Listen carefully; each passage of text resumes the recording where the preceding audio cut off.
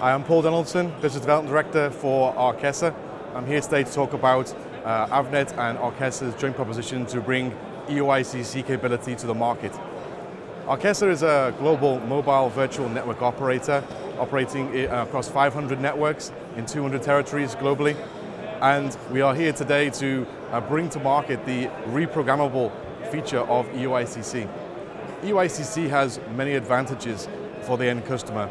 One being a complex supply chain where we find some customers who want to design in one location, manufacture in a second location, and obviously then move to a deployment globally in, in various end locations.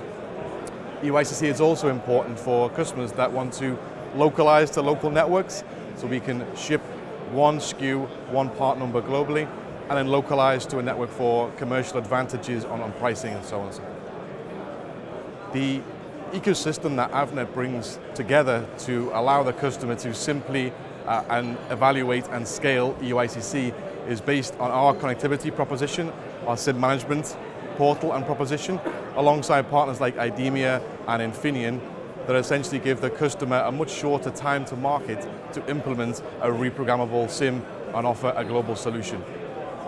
There's a lot of talk in the market about eUICC and enablement, and today with partnership with Avnet, we have test packs that customers can take off the shelf and evaluate live across Europe and across the globe with our joint global proposition.